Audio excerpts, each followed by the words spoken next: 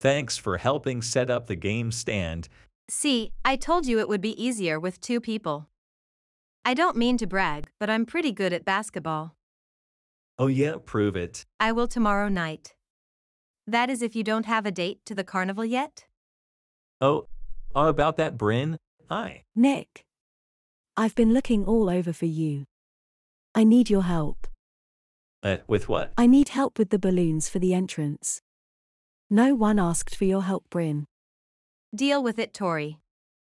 Guys, can we just focus on the balloons, please? I know a spell that can help with these balloons. Watch. Good going, Bryn. You've lost all our balloons.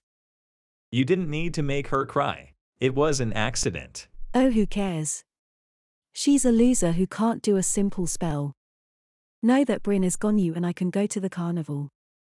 Tori, I told you we're over. Besides, I'm asking Bryn to the carnival. Nick, what are you doing here?